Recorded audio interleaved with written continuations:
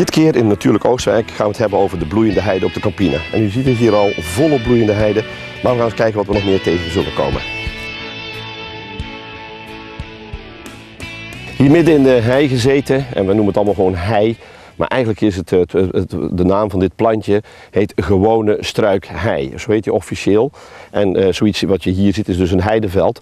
We hebben hier uh, met onze werkzaamheden de, de, van Natuurmonumenten hebben we hier dus een prachtig heideveld gecreëerd. Um, en je ziet hier oude heide, dit is al wat oudere die is wat groter. En er staat ook wel verse jonge heide bij. Nou, daar komen we straks ook nog eventjes op terug. Um, struikhei is heel erg belangrijk voor Nederland geweest. In de middeleeuwen gebruikten de mensen die heide compleet. Voor in de potstallen, er werd het gemengd in de mest, er werd het later op de akkers gestrooid. Maar ook zetten ze hier honingkorven of bijenkorven neer, waar dus inderdaad de bijen nectar uit de planten haalden en die nectar dan omzetten in honing. Heidehoning is nog steeds een heel bekend product en ontzettend lekker. Maar wat je dus hier ziet, die grote massa, dat heet dus dan die gewone struikhei. De Campina komt verder ook nog de dophei voor, maar daar gaan we het vandaag niet over hebben. We gaan nog even kijken wat er allemaal in die hoge struikhei te vinden is en we gaan een rondje lopen rondom dit gebiedje.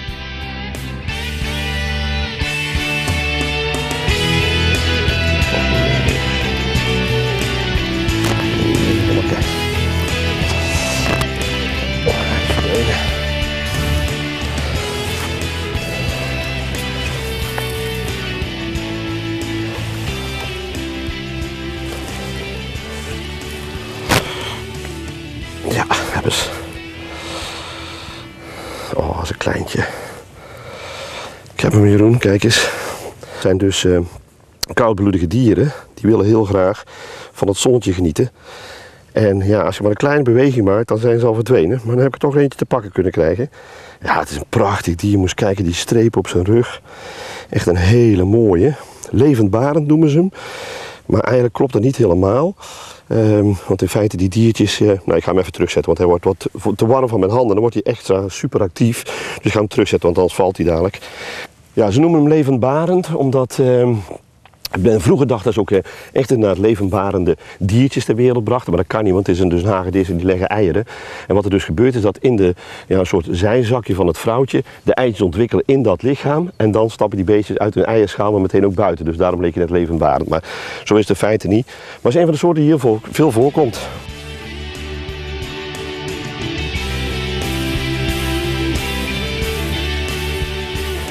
Op de Campina vind je ook af en toe uh, naast die mooie struikheide ook stukjes hoger gelegen grond, uh, nog hoger dan zeg maar, de heide zelf, waar bosjes zijn en dan kun je dit soort bomen treffen. Dit is dus een zomereik.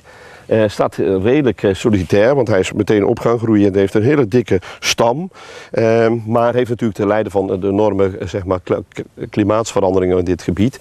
Maar ook heeft hij problemen gehad, deze boom, met te zoeken naar, naar zonlicht. Kijk eens hoe lang zo'n tak kan zijn. En die is nog helemaal dus inderdaad boven de grond uithangend.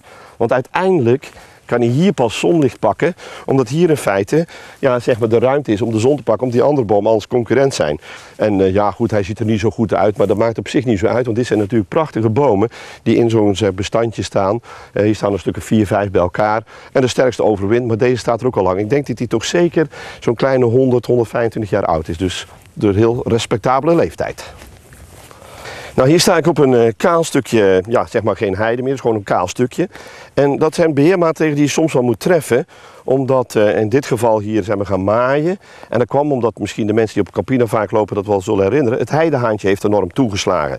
Heidehaantje is een kevertje, maar eigenlijk is de larve van het heidehaantje, dus zeg maar de larve, die is dus enorm schadelijk en die vreet dus zeg maar de heide aan, zuigt eigenlijk de sappen weg en de heide sterft dan af. En dan moet je dus die heide weghalen, want anders komt er geen nieuwe heide meer terug.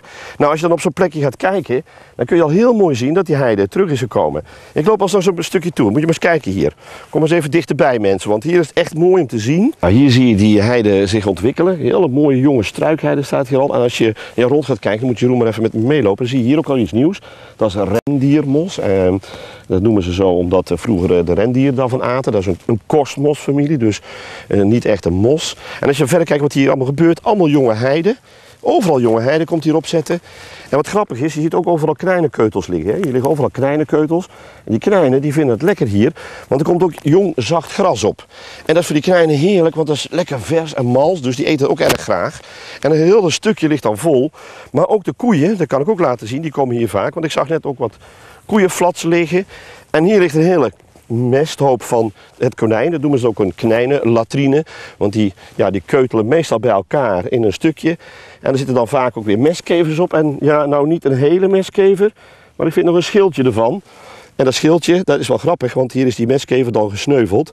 Ik kom eens even dichter bij de camera, dan kun je dat schildje mooi zien. Is geweldig om te zien hoe dat die, uh, ja, deze vlakte dan enorm leeft. Nou, hier het een helft van een dekschildje van de mestkever. Dus die heeft het loodje gelegd, maar die zitten graag op die konijnenkeutels.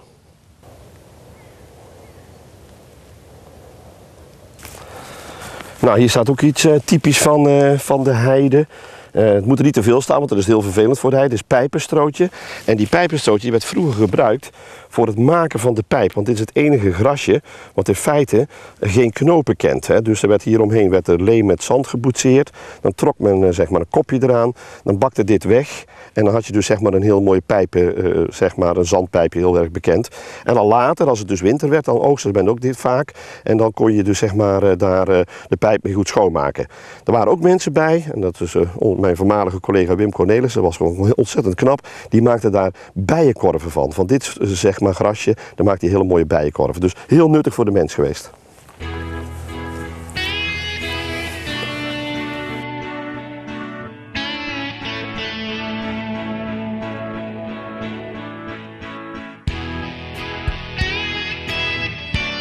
Uh, ja, ja, ja. Oh, ik ga hem doen. Kijk, hij zit heel mooi stil. Hier zit hij. Dan moet ik oppassen dat hij eruit springt. Anders ga ik hem nog vastpakken van achter, want dat kan je doen. Maar dit is een uh, padje. Heel mooi jong padje. En uh, ja, dat is dus een amfibie. Net hadden we een reptiel, dat is de, de hagedis. Ik hou hem zo even vast dat hij niet wegspringt, want laat hem daar weer mooi los. Maar dit is de gewone pad. Een, uh, ja, dit een klein exemplaar dan. Je kunt heel goed zien aan een breed lichaam en je ziet eigenlijk een klein beetje van die knobbeltjes erop zitten achter. Dat is heel anders dan bij de kikker, die is veel gladder. Over het algemeen lopen padden, maar als ze jong zijn dan springen ze.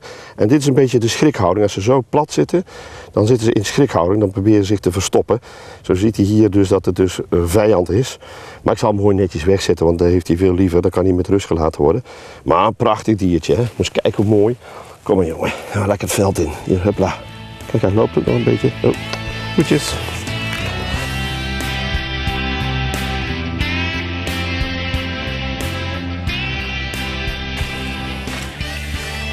Nou, hier sta ik dan uh, in het ven, zou ik maar zeggen. En uh, ja, goed, ga ik wel goed laten horen, want uh, het is hier echt soppig en nat.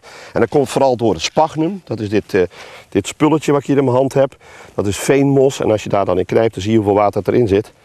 Want uit zo'n beetje komt een hele hand vol met water. Zo zie je dat in dit ven ja, dus heel veel gras groeit en bijna geen water meer is. Dus een restantje water. En dit ven zal met de tijd wel helemaal verdwijnen. Dan heb je hier een laagte in het zeg maar, Campina gedeelte waar dan weer andere planten kunnen groeien. Bijvoorbeeld die dopheide. Dit was weer een aflevering van Natuurlijk Oostenrijk. Jeroen en ik hopen dat jullie genoten hebben van deze aflevering. En de volgende keer gaan we iets nieuws maken. Waar we dan zijn, dat weten we nu nog niet.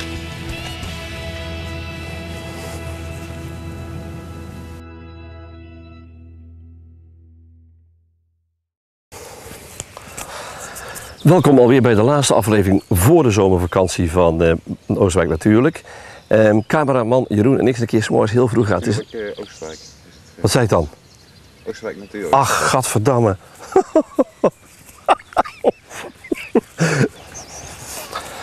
Hallo, dit is alweer de laatste aflevering voor... Ah,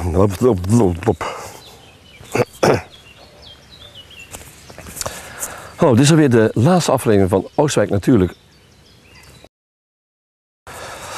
Hallo, dit is alweer de laatste aflevering voor de vakantie. Ja. Dus je moet even geduld hebben. Want daar zitten roodborsttapuiten. En die vallen regelmatig, er zitten roodborsttapuiten, die vallen regelmatig. Ik doe het wel opnieuw, want het was wel leuk, ja.